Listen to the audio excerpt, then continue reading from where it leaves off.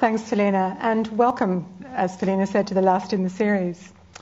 Well, Pompeii, seen there above you in about 1900, um, has been excavated since about the mid 1700s. Um, admittedly, the first excavations really focused on looting or treasure hunting um, rather than serious excavation. But by now, of course, Pompeii witnesses many multidisciplinary research teams, research programs. The emphasis for the longest time has been on peeling back the layers of ash and lapilli to reveal the town as it was when Vesuvius erupted, to get a sense of, of landscape, of, of, of building relationships to each other. And that continues, I think, still to be a passionate interest with a lot of the people who, have, who still work there. Today, of course, with over two and a half million visitors a year, this is not bad for a town that at its heyday probably had 20,000 occupants. Um, the really pressing concern is conservation of those places that have been excavated um, and trying to preserve what is there as well as reinterpret it and re-excavate and reanalyze it and make sure that it is lasts for the future. oh dear. She, I'm, you know, I am an archaeologist. I'm really a, not so good on technology. um, Pompeii research once they'd revealed the landscape, once they'd revealed the sort of sense of town, Pompeii researchers focused on, focused on four things. And the first of these that I'm looking at um, here is buildings. So having revealed the landscape, the focus has been on the structure of the buildings, the layouts of the buildings, the plans of the buildings, how the rooms relate to each other. Somehow in all of this, it often seems to me the people seem to disappear a trifle. as well as buildings. There's been a heavy emphasis on art. And this, I must tell you, is the only recollection I have of two years of Pompeii as a student at Sydney Uni. My dominant reflection, recollection was there was a lot of red. And I should add to that, I have now painted my front fence red, hiding the graffiti. A, a, a tribute to Pompeii, of course. So the frescoes, the city, of course, is rightly famous for these frescoes, and they're immortalized, if not necessarily on the walls of Pompeii itself, um, in museum collections and in the enormous numbers of articles and books that have been published about these. There are quite a few still in situ, but of course a lot that aren't. Um, there's the one um, playing here with. This is on display currently in um, a dam Pompeii. It's a, a fine detail on one of the larger frescoes in the House of the Golden Bracelet. This particular one is on display, is still in situ in Pompeii itself, and the House of the Vettii, um, I think parts of it are uh, still in situ. They are beautiful because researchers focused not just on the amazing beauty of these and their elegance and the figures, it's on the style of art. Uh, an early archaeologist identified four styles of art um, first to fourth. I to this day don't remember the difference between them. Um, they focus on the subject matter from mythology to eroticism to links with the outside world, such as the famous images of Nile animals and other Egyptian figures. Then we have, of course, abandoned objects. And one would think, as someone interested in material culture, that this would be my blinding passion. But I think perhaps I've developed a little as an archaeologist. I've gone beyond only thinking about stuff. And believe me, there is an enormous amount of stuff in Pompeii and in museums. Some of this, all of these, are on display currently in the exhibition. So every field of interest is catered for in terms of the sorts of research people want to follow in relationship to material culture. Um, largely, it's often seen, I think, as an art history approach, but then also it's about the contents of, of objects, um, the material they're made of, how they're made, how they're traded.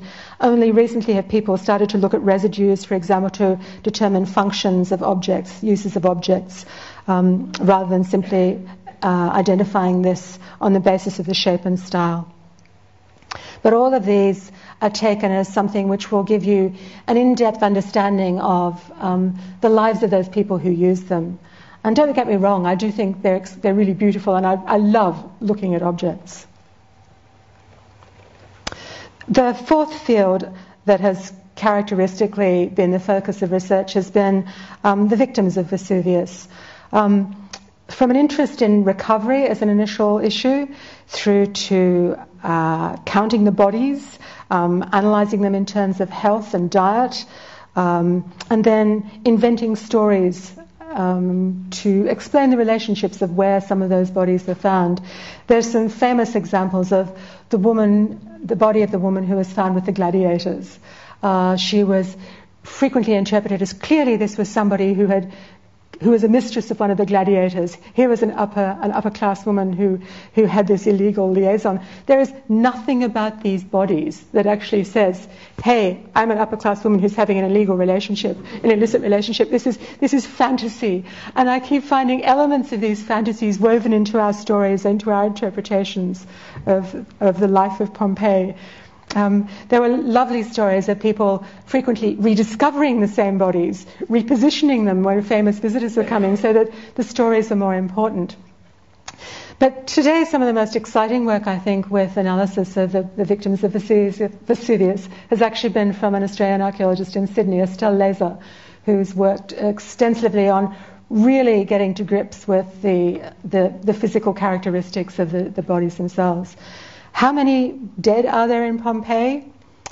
Like many things, the numbers about anything in Pompeii seem to me rubbery at best. So there are accounts of anywhere between 1,500 through to over 2,000 bodies. Most people round off and say 2,000 bodies have been recovered from Pompeii. But it's a bit like how many people lived in Pompeii. The first thing I read said 30,000 people lived in Pompeii. Mm, based on what? Turns out that was based on how many people could fit to a room. Um, so how many people could fit on the seats in the amphitheatre? 20,000. No, at least 20,000 people must have lived in Pompeii. Oh, but wait, a lot of people came into Pompeii from the outside world to visit the amphitheatre. So you see this being played out constantly. Um, currently, the estimates of population who lived there before the volcano erupted were anywhere between 12 to 20,000. So the majority of them then did indeed escape the wrath of the uh, volcano. But what about the subject I'm most interested in tonight? Um, what about graffiti? As you can see, it's had pretty bad press for some considerable period of time. Um, almost without fail, the assumption has been that the only people whose lives this will reflect are the lower classes. So, therefore, it's simply not worthwhile studying them. Uh, so that's why it's more important to focus on all the wonderful things that have been retrieved from Pompeii and not to look at the written record. This attitude has been incredibly hard to shift. I was quite shocked to see that Wallace, as recently as 2005, was duplicating that same image. You're not going to learn much because it's only the less educated members of society. Um, I think there's perhaps a lot more that people can learn. But I, I do admit that in this massive town with this massive conservation problem and an enormous amount of material that's already been excavated, perhaps the written word isn't quite so beautiful. Um, it's certainly not quite as accessible to the general public.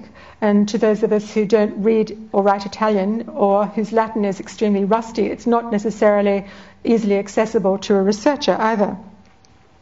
Attitudes, I think, are slightly changing, but there's a, lo- a lot more, I think, that can be done. And I think the archaeology of graffiti is really underrealized in Pompeii, as perhaps elsewhere. So, what's bundled together with this list of list of things that people talk about as graffiti? Um, I mentioned that figures are rubbery. It's not just the, the population size that's fairly rubbery. This notion of how many inscriptions there are seems to me a bit elastic as well.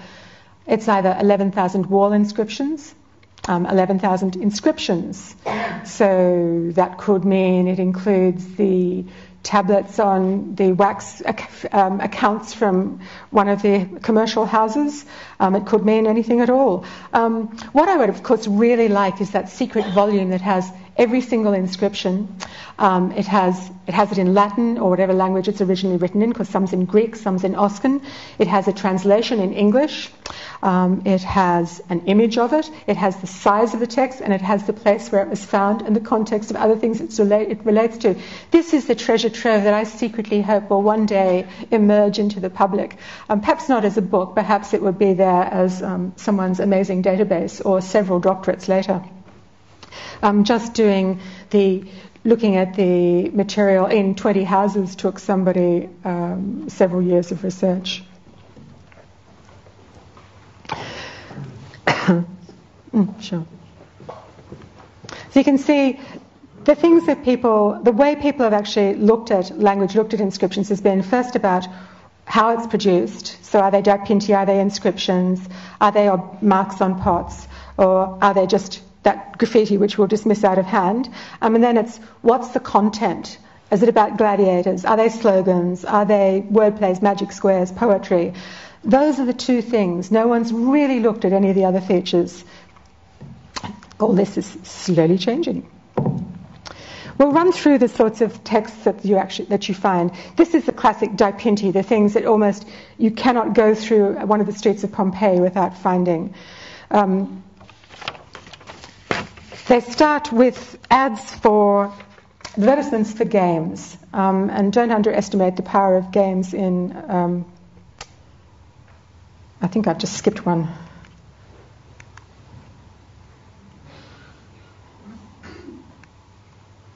I've lost it. okay, I've lost the ad for the games. There, uh, there are an enormous number of advertisements for gladiatorial games. They were incredibly significant in ancient Pompeii. Um, there are at least it recognizes there are at least 43 days of games. With these people achieved political power. They showed their lavishness. They showed their generosity to society. Um, they're always advertised with things like, we'll give you awnings, we'll give you sprinkled perfumed water, we'll give you bears, bulls, athletes, and a procession. And then, of course, we'll give you the gladiators as well. Um, and if you do this, then, you know, you will acknowledge that I have given a great contribution to the city. Um, so, as well then as the ads for ads for games, which look very much like this, they're just in different locations. There are 2,800 uh, posters, electoral posters.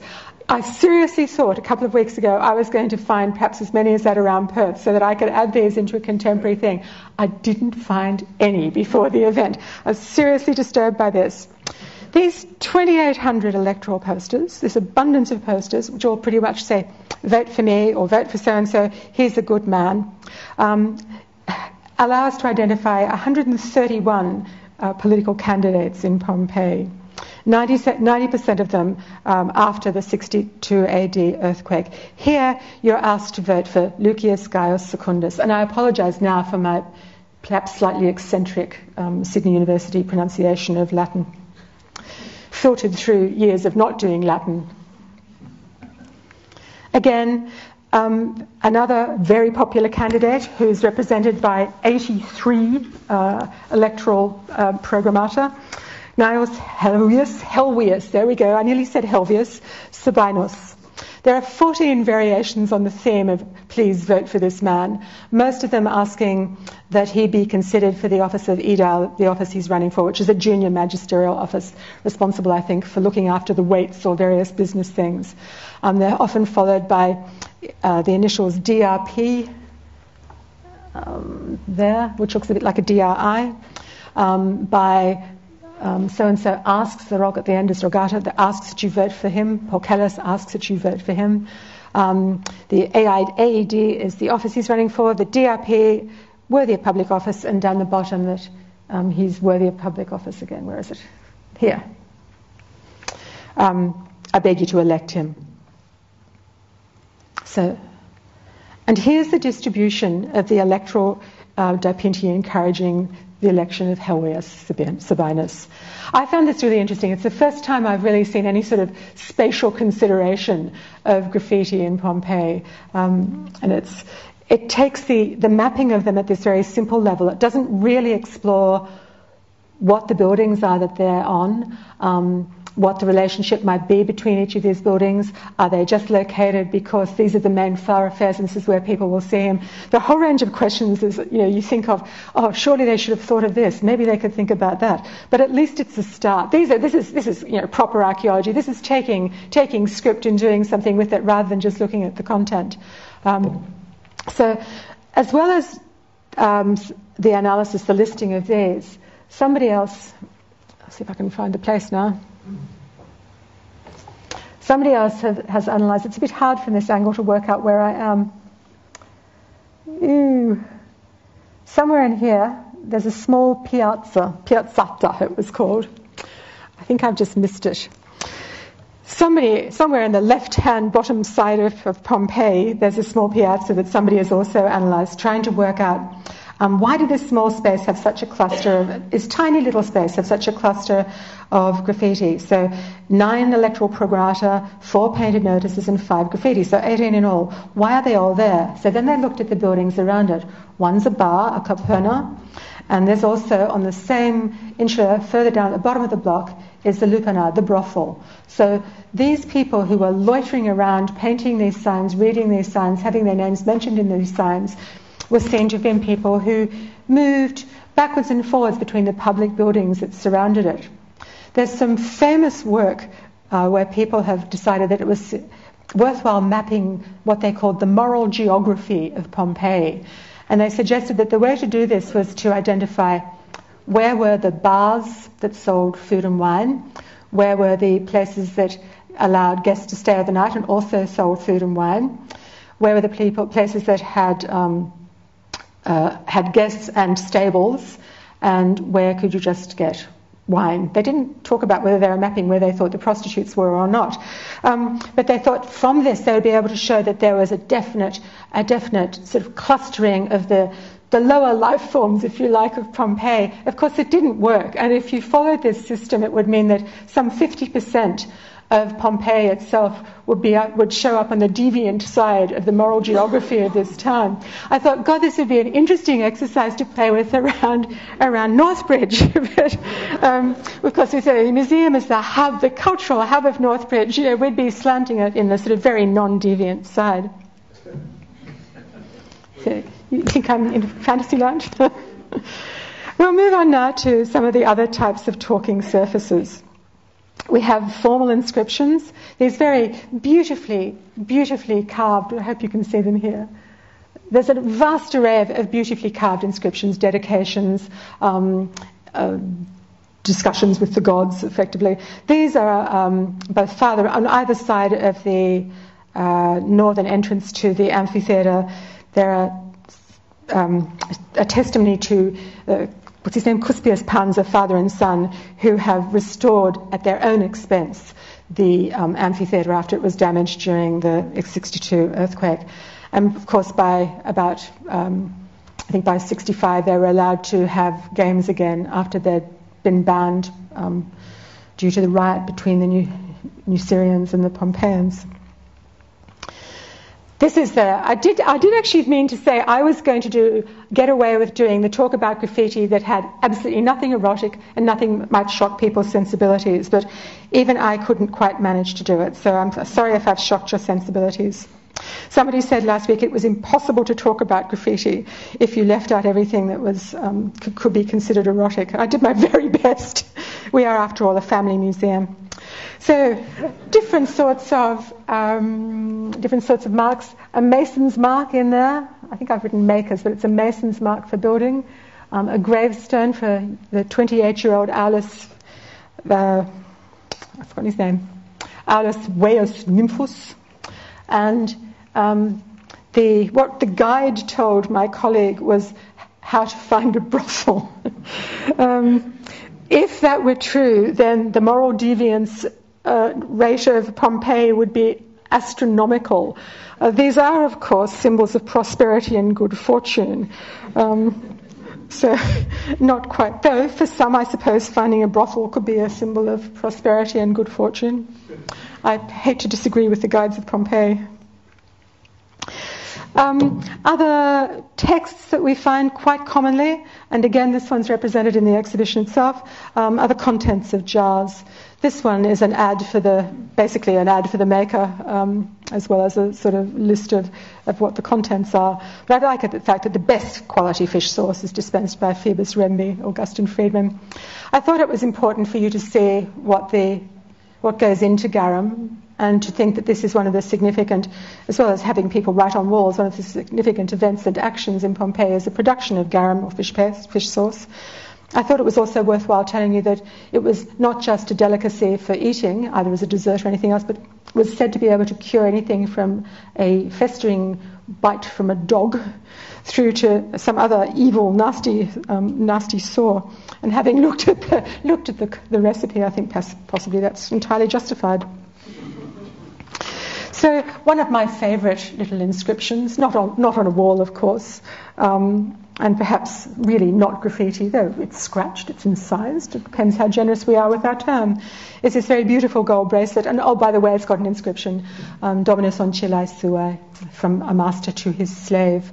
Um, of course, this bracelet, therefore, the inscription on this bracelet, therefore, says an enormous amount about um, the role of women in Pompeii um, and about the rights of slaves and perhaps their relationships with their owners.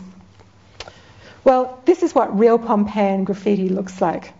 Um, you see my, why, in my naivety, I hadn't quite expected to be daunted by this, but I looked and thought, I have no idea what this says. It could be a tag on my front wall.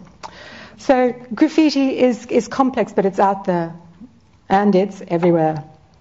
Did I mention that people said Romans wrote on anything and with anything, but particularly they wrote on anything? Well, these examples demonstrate to you, if you read them, that by and large the graffiti really aren't particularly riveting as insights that will transform the world. Um, I thought this one, it took 640 paces to walk back and forth between here and there 10 times. I mean, that has got to be one of the most boring pieces of, of information about someone's life um, that we could, we, could, we could contemplate. So there we go. Um, perhaps, those early, perhaps August and some of the others weren't so far off. So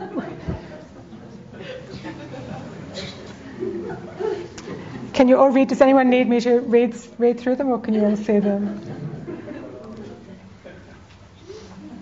There's a lot like this. A lot of them also imply that there should be some sort of exchange um, between the writer, the first writer, the second writer, and a third writer, or between the people reading them. The, probably the most famous exchange is one that was um, there are two people, Successus and Severus. Severus, um, Severus writes Successus, a weaver, loves the innkeeper's slave girl named Iris, but she doesn't love him. Still, he begs her to have pity on him. His rival wrote this, Goodbye. Uh, so then along comes Successus who writes, Envious one, why do you get in the way? Submit to a handsomer man and one who is being treated very wrongly and good looking. So, you know, and then the riposte, Severus, I have spoken. I have written all there is to say. You love Iris, but she does not love you. And so he didn't answer. He must have been heartbroken after that. So there's a lot of this interplay. It's a social act. It is a social act, the writing of graffiti. And some of you might see real parallels immediately uh, to what must come um, when we talk about contemporary graffiti. This is, I think, one of my famous, uh, my, one of my favourites too. Um, a famous example of graffiti that isn't entirely textual. From one of those dreadful, deviant wine bars, um, meals, drink, and lodging. There are actually four sections to this. Uh, I couldn't find um, a free to, free to air, as it were, um, one that had the fourth one in it. So the first one has um, when I, the, in fact, the Museum Victoria label says, Is this a prostitute? Um, the very learned article I read this morning said, No, this is in fact two women. Um, one of them saying, I don't want to with Myrtalis. In fact, the question mark this time isn't because it was um, vulgar and I'm coy, it's because the word simply isn't there. Um, but they're thinking, since the women are kissing, that there's a, a, close relationship that you know, might only be humorous to the people in the caupona, in the bar. The second one um, is this lovely little exchange like, um, here, bring me a wine. No, no, it's mine. I want it. And the waitress, the wine wine barmaid, saying, oh, whoever wants it, take it. Um, and then the first translation I read said, go take a drink from the ocean. I thought, oh, that's interesting. Um, then I found this better one that says, um, Okeanos, come and drink. And an article I read this morning said Okeanos is actually one of the famous graffiti, famous gladiators um, in Pompeii at this stage. So it's very unlikely that he would have been in the bar drinking, and perhaps it should be read as, hey, big boy, you come and get a drink, you come here. So she's sick of the two guys who are hassling her, and she's sort of turned to someone else. Um, the third scene, um, the gamblers, has one, one bloke going, I won, the other one saying, no, no, it's not a three, it's a two. Now, the missing scene, of course, continues this. Here we have early graphic novel, Pompeii style. The missing scene has the innkeeper throwing the gamblers out, saying, because the first one says, You no name, it was a three for me, I was the winner. Look here, blank, I'm not going to say this word. I was the winner. And the innkeeper saying, Take it outside, guys. Take it out, fight outside. So it's this lovely little sequence. And the idea is that this is meant to entertain. People were meant to find this humorous in the same way that a series of similar um, graphic novel cartoons in the, in the um, in the baths, uh, baths that were originally thought to be um, a, a, brothel, were also meant to entertain. Of course, I'm hedging my bets because I can't remember which baths it is. I do apologise. Uh, one of the most common, if not terribly exciting, um, graffiti from uh, from uh, Pompeii, one of watercraft. Often there are little plays on the images with um, names and all sorts of other things woven into the sails or into the water, into the texture, but no one quite understands why they're there, what they mean, apart from the fact that Pompeii was a significant, it was, um, it, it relied on trade by water. It's near the coast. Um, until someone seriously interrogates the graffiti things like this and actually starts looking for context, we're always going to just have to dismiss them as, well, it's a, it's a watercraft, it's pretty cool, but mm, yeah, okay. Now, these, of course, this graffiti have been looked at fairly extensively, and I'm sorry they're a bit blurry. Um, the two gladiators here, I think you might just be able to pick up there. If not, trust me, they're there. There are another couple over here. Um, I couldn't, I have no idea what it says and who they are. I think it's interesting that here we have one Okeanos, um, a very famous gladiator, as you already know, uh, possibly um, a friend of a barmaid um, round the corner from the brothel. The a large number of gladiatorial graffiti were found near public spaces such as the large theatre and the large palaestra, which is the training ground, as well as in the barracks where, where people lived. Um, the suggestion is that perhaps an enormous amount of the graffiti about gladiators was probably written by the gladiators themselves, especially if you remember that one from earlier about um, what's his name, the, the Thracian gladiator makes the girls moan. They think it's very likely that he wrote it himself. And again, this one I included not because it's something that I have a translation for or I know where it comes from. It's one of those things. This is the problem if you rely on Wikimedia Commons, you don't always get a context. Bad for archaeology. But it's a nice photo. Um, beside it, and down here, this is what this actually says. This is how it translates, and this is where it is. Outside the Nucerian gate, um, in the in the uh, necropolis there. Um, again, it's you know, you know, it's, it's this wonderful thing about someone's been magnificent by putting the games on. These are the battles they fought. With so and so was was um, successful.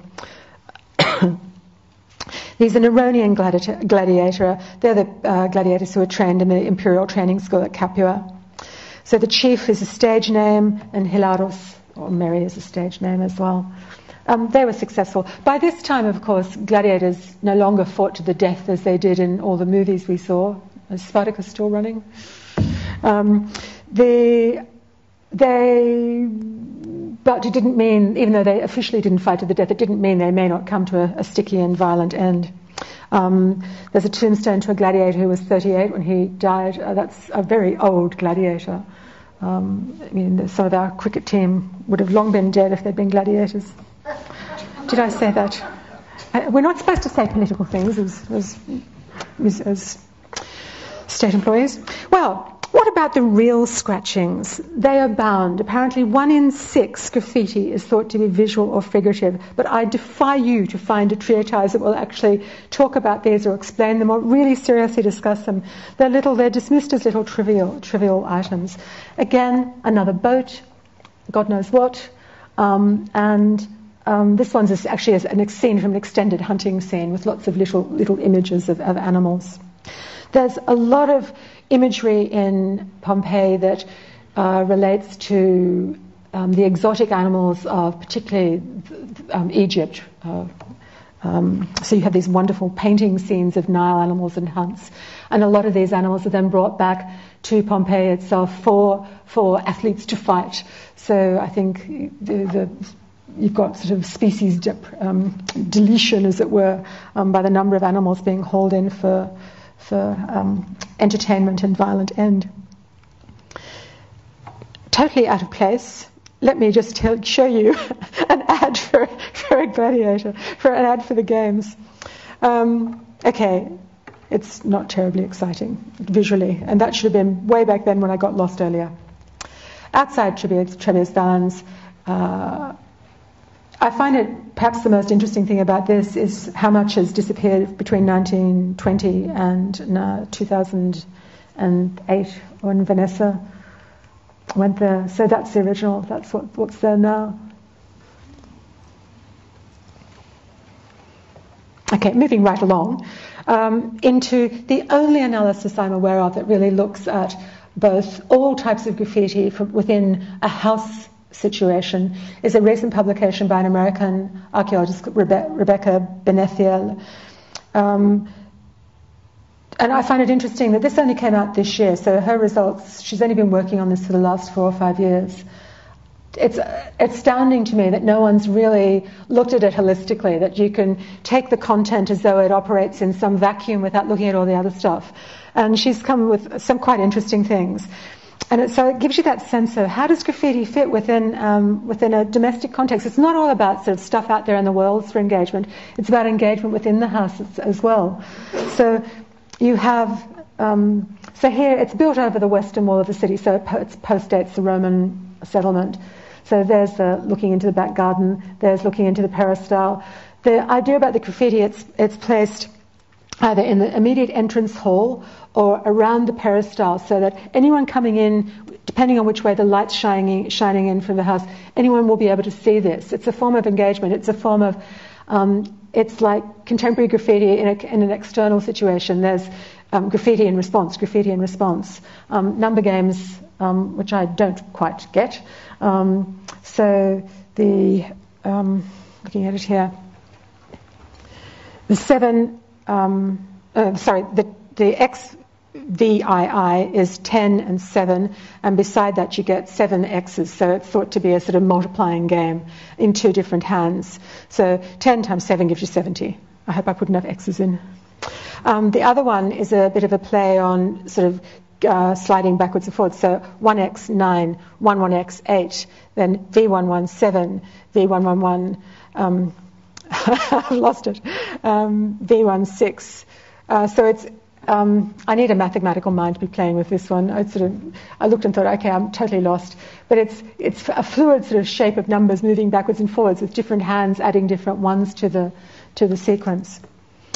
And these there are lots of these um, around Pompeii. Not sure whether they're the people in the house or friends. um, but the sort of penis nose faces of sort of a famous um, Roman graffiti. Um, a lot of the graffiti in this house were also about a woman who apparently lived there. Romola lives here, it says. It also describes Romola doing a lot of other things, which I don't know that I'd want sort of stuck up on the wall of my house. She was a bit of a girl by the sound of it, a bit of a goer. Um, but Romola's got her tags around the house. One wonders if in a house where you've got the defiantly beautiful Venus, perhaps she was, she was the sort of inspiration for this type of um, Romulan behavior. So I have moved amazingly rapidly from Pompeian tags into tags around the world in the historic context. So now we've moved to Egypt. Um, I haven't got any ancient Egyptian graffiti. I looked up the, the graffiti about Hatshepsut and her steward Senenmut and decided it made me blush. I didn't know about the ancient Pompeians. So I'm afraid, though, I can tell you it exists in ancient Egypt. You're not going to see it from me. So we do have tags, though. We have Belzoni over here, the strong man of Egypt, um, probably the original, one thinks of him as the original excavator. And we have the French liberally leaving their name um, on this 18th dynasty um, tomb as well. They're all, uh, this, this is in Thebes, Luxor, this is about 80 k's south. Sorry, I hope I didn't laser anybody then.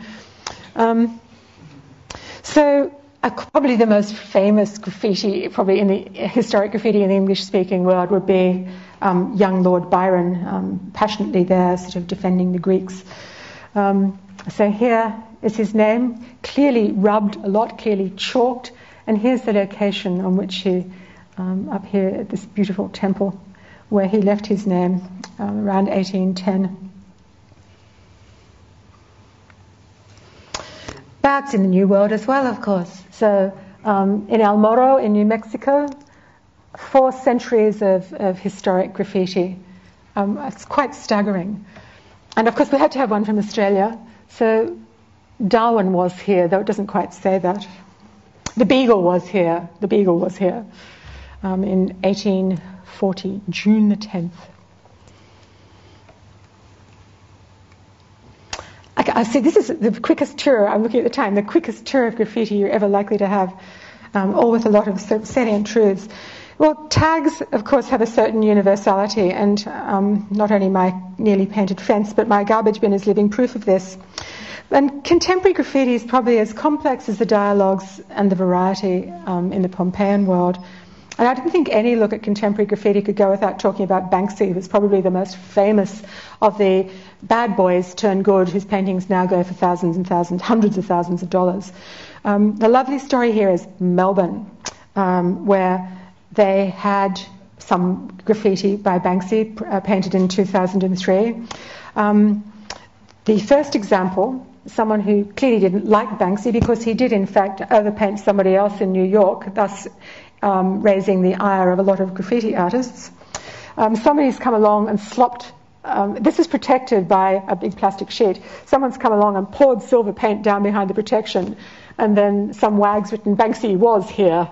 Um, um, but this little one, which is in another street, um, Melbourne council workers earlier this year were told to go and clean it up, clean up the graffiti in this lane. Uh, no one, everyone thinking, of course they would know that this Banksy, you know, Melbourne was really proud of having one of these. Um, however, the council worker didn't know this, and he cleaned up the Banksy as well. So he says he's unapologetic. Uh, if somebody had told him it was important, he would have he would have saved it.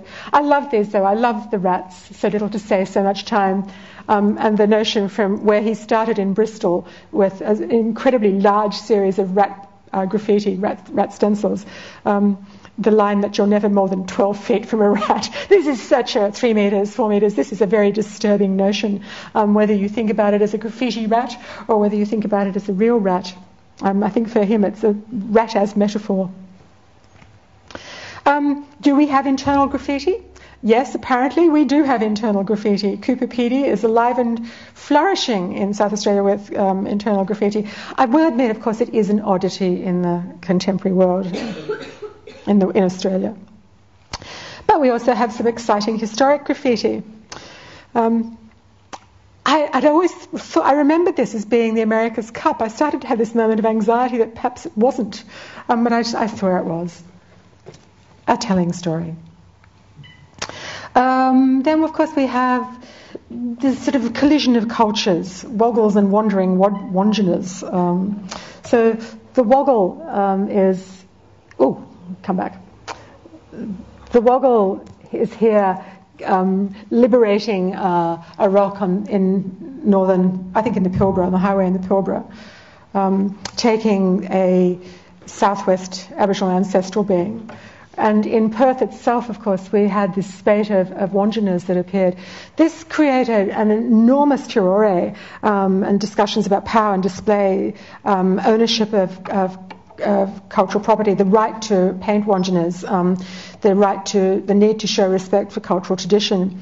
In the end, the senior Wandjina painter from the Kimberley said his greatest concern was that the person who was painting them down here might unleash the power of this spiritual being there who's a creative being who creates not just the landscape but transforms it by bringing the rain, by encouraging things to, to fruit and to bear. It's a powerful act. To bring it down here is a bit of a, a scary thing.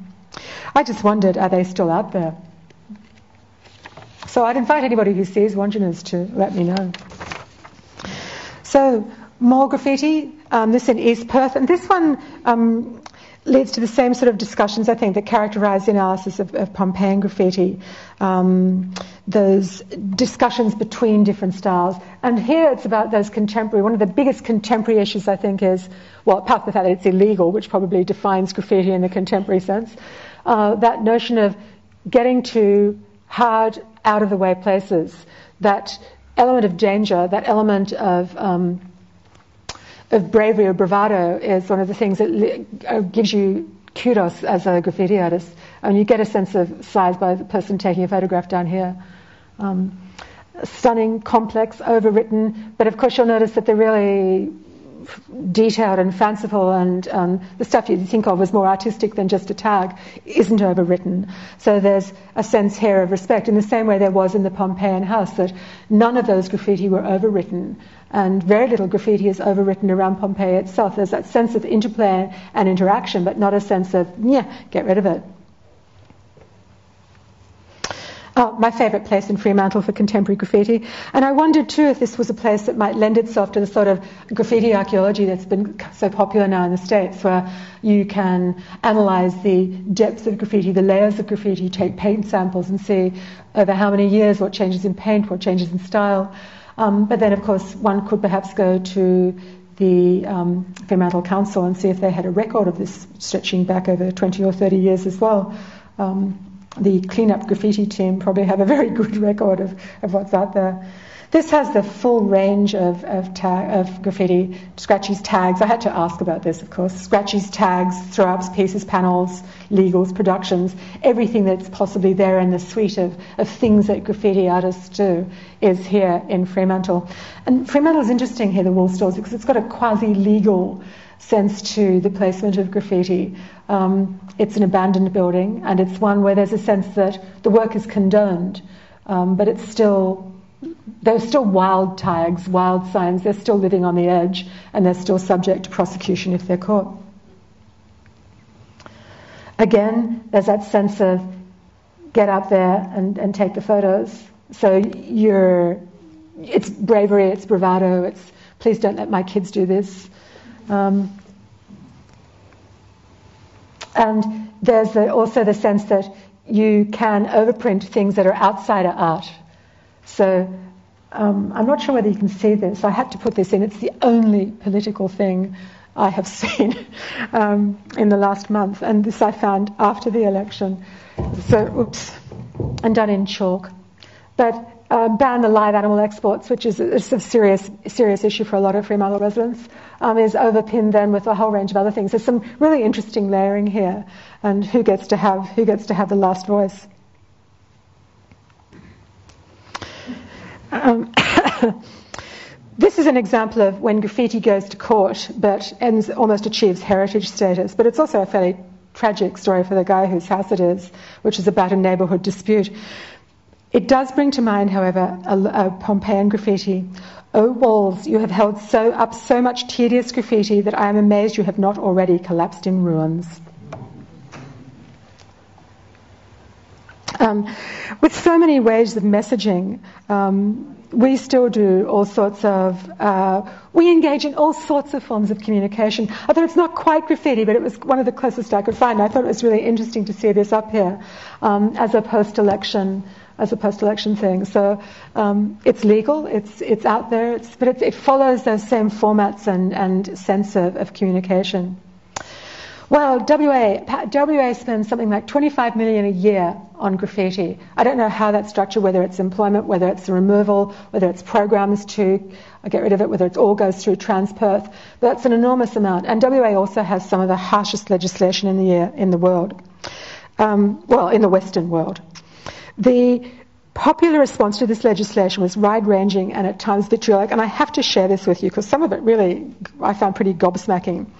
These clowns are breaking the law, lock them up. Now, I must say that this isn't graffiti I found, this was sort of blogging, which seemed to me to be a, almost like a conversation that might once have appeared on a wall. So after Lock 'em Up, I adore street urban art. It gives the streets feeling and expression.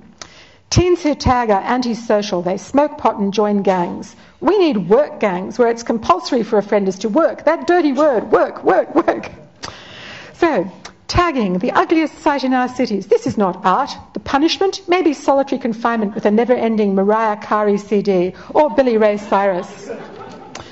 If you nurture tagging, the first stage of graffiti, you will see street art, a vibrant landscape, embrace rather than legislate. My, the final, and I think perhaps my favourite, you like graffiti. Are you perchance an academic majoring in philosophy? well, if it's legal, and some um, companies, some groups have embraced that thing about let's nurture it, let's feed it, let's help people.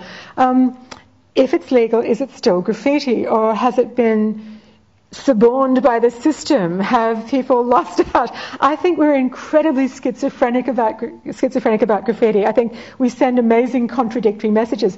Do any of you remember seeing the, the ads for Have a Say in Your Child's Curriculum? And it starts off with groups of kids sitting in, in a bus and they're all drawing a sense of their future, just with their fingers, but they're drawing a sense of their future on a bus window. I mean, this is such a contradictory message. You're, you're using this as an element of think about the future for one of the biggest forms and most expensive forms of graffiti in, in Western society. That's scrawling, scratching on, on bus windows. I mean, we, we approach this so schizophrenically. So, in the same way, um, something like here is taking graffiti, taking a contemporary graffiti imagery and using it for a local church, using it. So we take it and reproduce it in a legal fashion. Um, Transperth have used um, employed graffiti artists to do an enormous amount of, um, of work that is clearly developed from, um, from the graffiti itself. And a lot of these people have probably been um,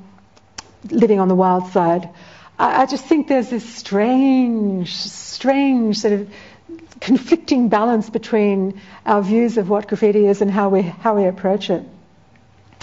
Well, here's the future of graffiti, projector bombing. I think our own little lava display, which you can see when the lights go down outside the front steps of the museum, might almost be considered a form of um, graffiti bombing, projector bombing. I think this stuff's wonderful, but as an archaeologist, given that it leaves no tangible record, I find myself a little disturbed. Um, I think it's interesting. I would have loved to have one to sort of, you know, tag all over the wall, but it doesn't, it doesn't give us anything. It doesn't give us anything to sort of fall back on, though it allows people that freedom to, to express. Well, the last road, of course, has to go back to the Romans. And this is what they scribbled with. I think my message is these analyses are incredibly exciting, they're incredibly worthwhile doing, but, and if you start from the minutiae, you start from the little things, you can lead out into a much bigger story and a greater understanding about the lives of both Pompeians and ourselves.